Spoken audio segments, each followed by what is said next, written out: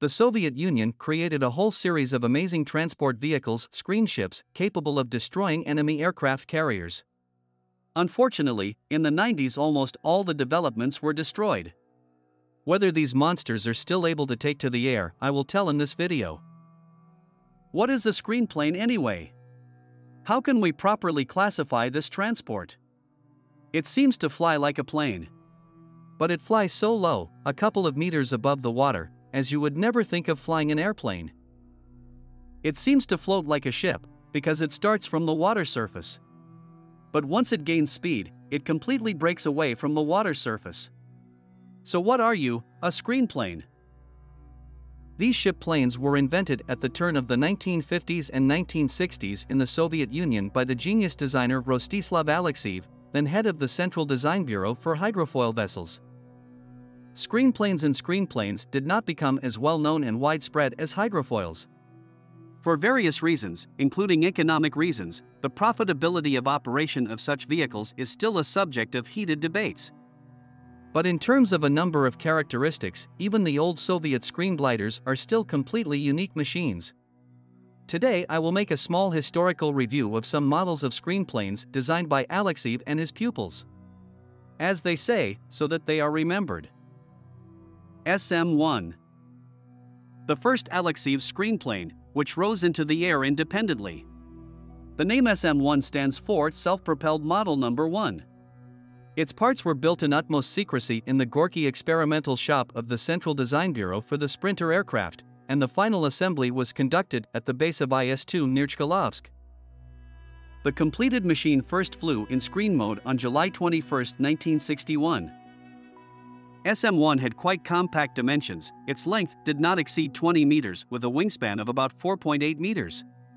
Takeoff weight was 2,830 kilograms. Power plant, 4 turbostarters TC-12M with thrust of 900 kgf each. Speed at screen mode of flight more than 200 km per hour. In 1962 SM1 was rebuilt in SM1 bis, equipped with single-engine RU-19-300.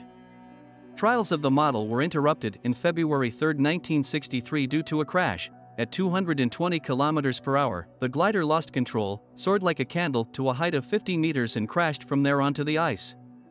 The entire crew survived with fractures. SM-3 the attempt to create a screenplane with rectangular wings of very low elongation led to the construction in 1963 of a compact Model SM3 with a single RU-19 engine in the nose.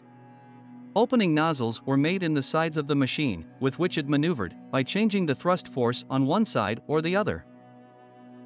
The model as a whole was unsuccessful, lacking directional stability. Once it even ended up that in flight the pilot blew away a chicken coop standing on the bank of the Trotsy River. SM8 The main task of the Central Design Bureau for hydrofoils for the second half of the 1960s was to build a giant screenplane KM weighing 430 tons. In order to work out individual design solutions underlying the Giant, there were built its smaller prototypes, scale copies of future Giant. The first SM-5 built in late 1963 was destroyed six months later by a pilot error, the crew perished.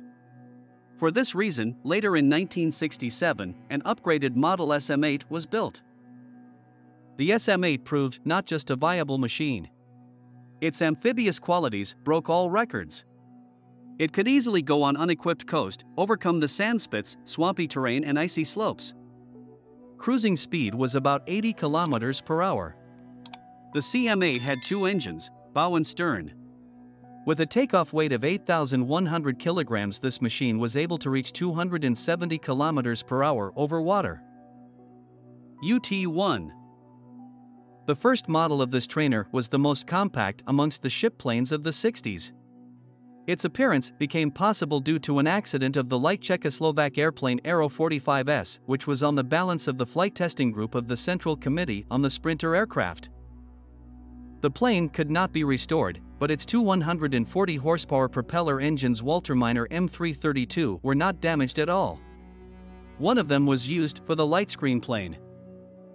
The single-seater UT-1, less than 9 meters long, weighed only 798 kilograms, so it could easily accelerate to 200 kilometers per hour.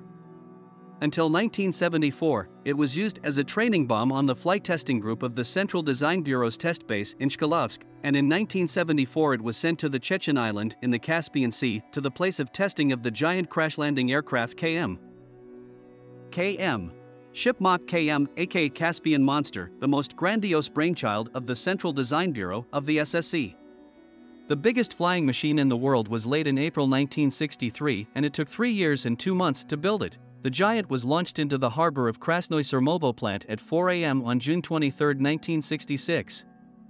In August of the same year, the KM was transferred to the Dagdizel plant in Kaspiysk, which became for a time its main port of call, because the size of the Gorky reservoir was insufficient even for the acceleration of the KM, not to mention the long flight.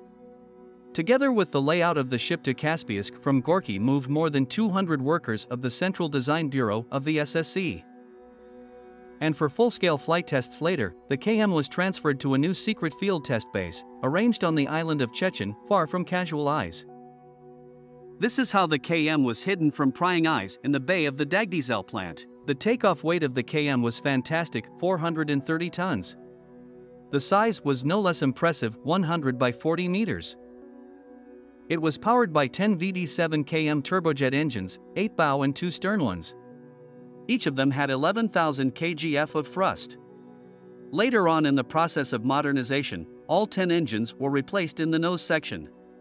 To ensure the operation of such a junk, the crew had to include at least 7 to 8 people. And in the absence of onboard locating systems, on test flights it was always accompanied by a plane monitoring the environment on the course. Given that the CM quietly developed not a miserable 200 to 250, and all 500 kilometers slash h, it was very relevant. As they say, don't you dare. The flight mechanic manually controlled the operation of 10 engines simultaneously. During one of the takeoffs, the takeoff weight of the KM was increased to 544 tons by loading it with sandbags with a total weight of about 120 tons. At the time, it was an unofficial world record unofficial, because the fact of the existence of KM was then strictly classified.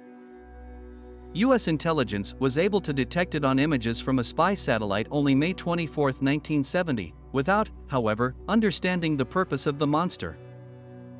On December 15, 1980 the KM left the Dagdizel plant for its last flight.